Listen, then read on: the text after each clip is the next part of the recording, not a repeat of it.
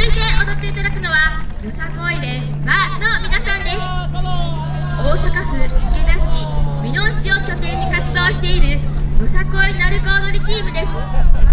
良い世の中が来てほしい。良いよさこいを思いを胸に全力で踊らせていただきます。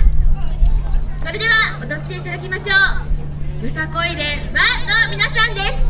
どうぞ。皆さんこんにちは。よさこい連和と申します、えー、今ご紹介いただきました私たち池田市美濃市を拠点に活動しております、えー、今日この聖林神戸で、えー、私たち、え2019年から踊ってきたこの木漏れ日の雫、えよさこいのお祭りでは、え踊り納めとなります、えちょっと人数は少ないですけども、えみんな笑顔で精一杯踊ります。皆様の温かい手拍子掛け声応援どうぞよろしくお願いいたします。それでは踊らせていただきます。よさこい連は木漏れ日の雫構え